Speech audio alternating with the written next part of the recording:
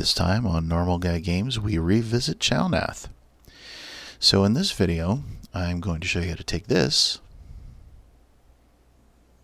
and turn it into this.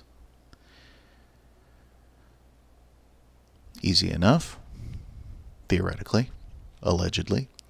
So this terrain is, of course, the Chalnath terrain, and uh, the other terrain that I just showed you is actually from my original Kill Team box. Now, what you're seeing here is I'm using a homemade wash. I got the recipe from Black Magic Craft, and I'm pretty sure he got it from elsewhere, but um, I'll put a link up to that. Um, so this wash is uh, honestly it, it's pulling away from the primer a little bit, and it didn't do this on the last train. I think that Krylon may have changed the formula, quite honestly. So I think this is the last time I'm going to use Krylon primer plus paint.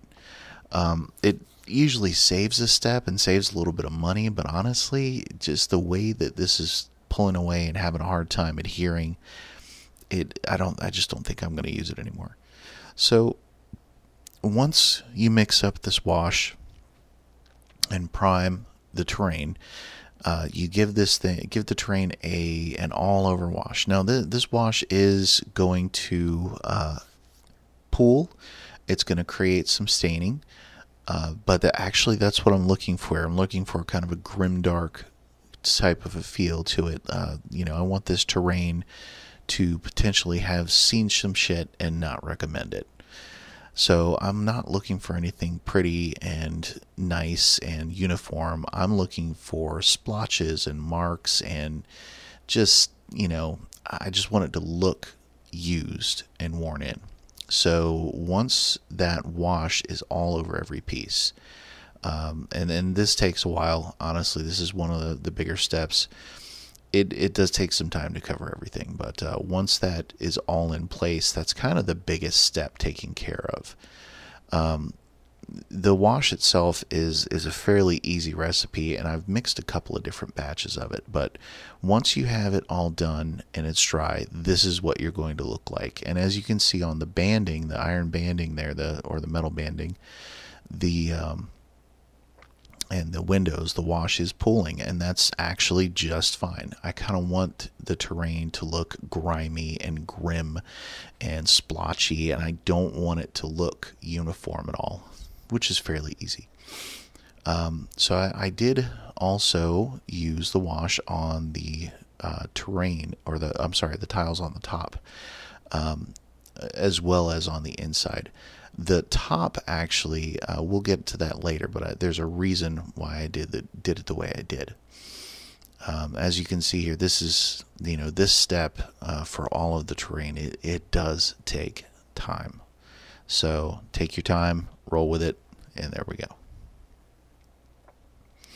Now, once all of it's dry, I'm using my trusty Picorni Arts um, dry brush and I'm giving this an all over dry brush of Reaper's Balatheon Chitin. Um, on the original terrain, I also gave it another lighter dry brush, but I think I'm just going to stop on the Balatheon Chitin on this one. And again, I'm just dry brushing everywhere. I'm not trying to make it uniform. Uh, the plaster type areas I'm trying to make a lot lighter than the rest. So I will kind of dig the brush in a bit and uh, make sure that I get those areas a lot better along with the outer edges of the pillars as well, the, the raised edges.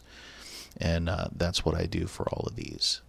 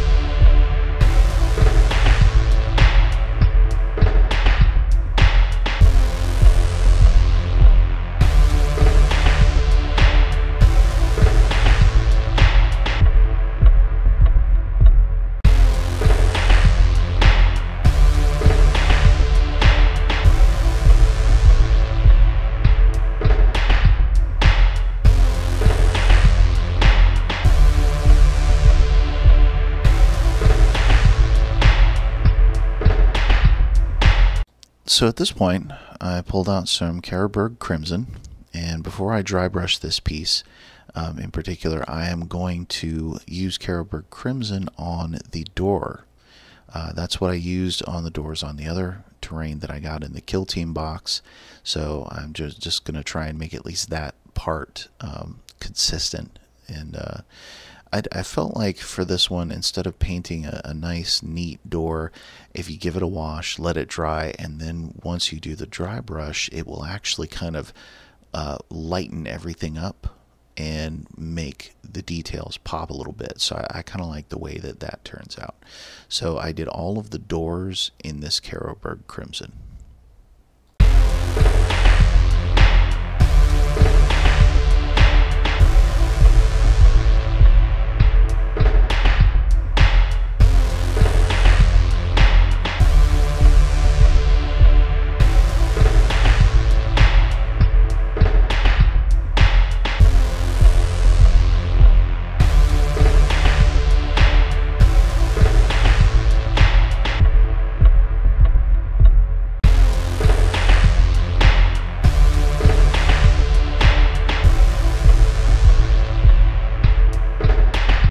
So for the next step here, as you can see, um, I have put some swirls using the wash on the tops of the terrain uh, on the, these tiles, and there's a reason for that. Uh, on my other ones, I used Space Wolves Gray, but on these, I'm going to go a little darker and use Ultramarine Blue. Um, what I'm doing is, is I'm going uh, straight out of the pot here, but I actually later on decide to water it down quite a bit and at one point I decided to go ahead and use the contrast medium on it as well because in the, on the last stuff I used the contrast medium on it to thin it down a little bit. So luckily contrast paint does have quite a long working time. So what I was doing here is transferring some of that paint from one to the other to kind of uh, make everything look a little more uh, swirly and a little little less um, I don't know. You, I, I, keep using the word uniform, but I guess that's really the word. Is I'm trying to make it look a little bit uh, uh, swirly, like almost like a marbly kind of a stone type type texture. Uh, but on these, I kind of felt like the um, uh, the Space Wolves gray was a little too light, and I may go back and do the other buildings that I have like that, but there's also a good chance that I might actually just leave it like it is and have just have two tones on two different buildings, which is not an unheard of thing.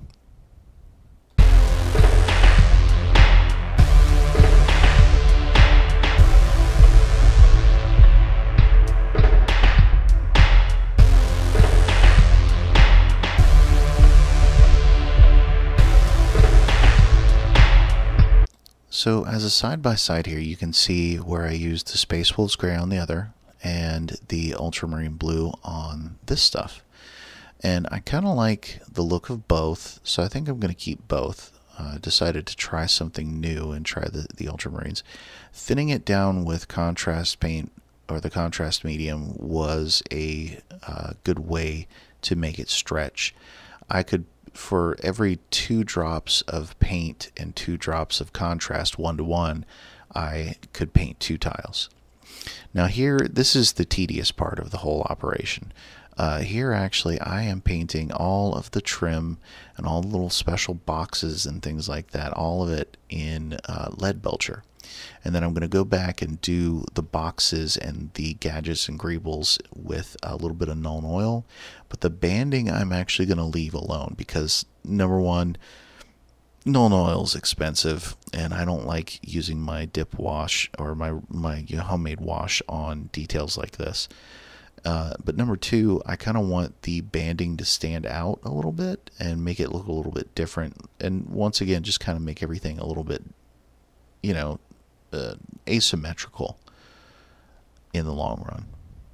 So at this point, uh, just you know, do all of the little strange details in the uh, dials and the you know the different gauges, all of the little vents and things like that. Uh, don't touch the windows. Actually, the windows are a separate step, and I'll show you that in a little bit.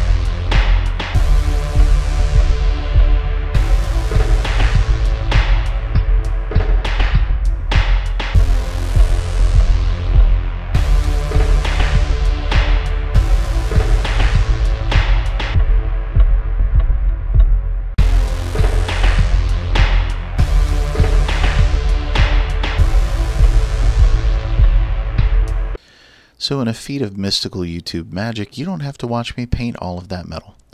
Uh, what I'm doing now is I'm using Blood Angels Red, Talassar Blue, and a little bit of Iyanden Yellow to pick out some of the different pipes and details and things like that. Uh, I just wanted to, you know, just kind of mix things uh, up a little bit. And yes, I do see the fact that I didn't paint the hatch metal, and I did eventually fix that as I went along, as as well as the uh, the little floor pieces that are missing blue as well. So once I'm done picking out a couple of the pipes and things like that with the different colors, I move on to the next stage, and I'll leave you with this until we get there.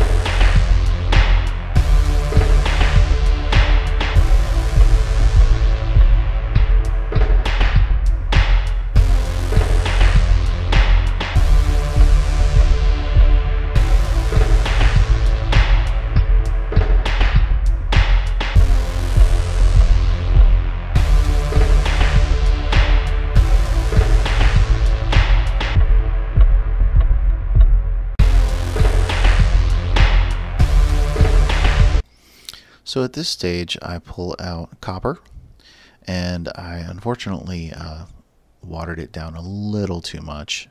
Uh, I didn't mean to water it down as, as much as I did. I keep forgetting that the uh, uh Army Painter paints don't need to be watered down so much. Uh, so what I did here is I just picked out a couple of little details, just like with the colors, and made uh, a few bits and pieces copper. Um, unfortunately, since it was so watered down, I had to go back and change a few, a few things later. Um, so here, this stage, I took Sycorax bronze, and what I'm doing is not a dry brush. It's not a full like full-on paint uh, application. It's kind of like an over brush almost. I'm only getting bronze on basically the raised areas, and I'm leaving the recessed areas kind of that washy sort of khaki color from the Krylon Summer Wheat paint. Um, I'm just doing that just to show a little bit of fading and weather wear. I, like I said, I don't want it to be all nice looking and shiny and pretty. I do want a little bit of shine, but I also want it to look like there has been, you know, some sort of battle or whatnot fought here. There's there's obviously a reason why this building is completely and totally demolished, right? So, stands to reason.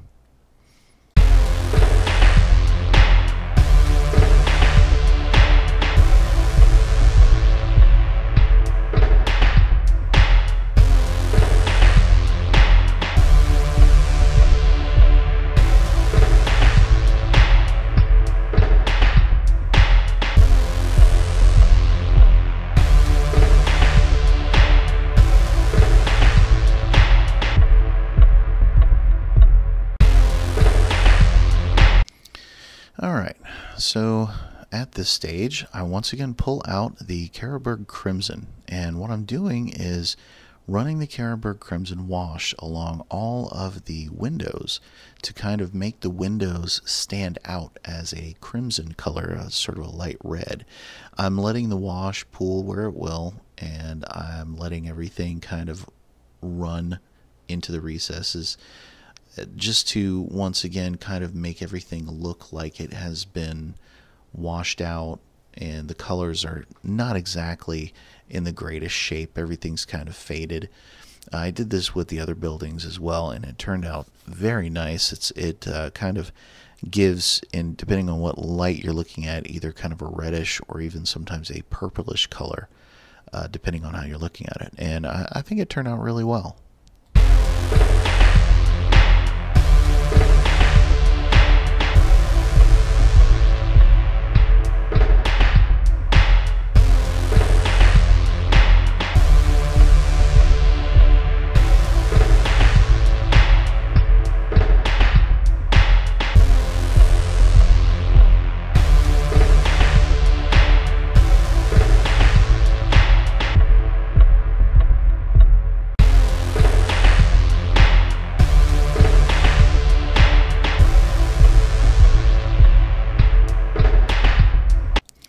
So this is the finished stage.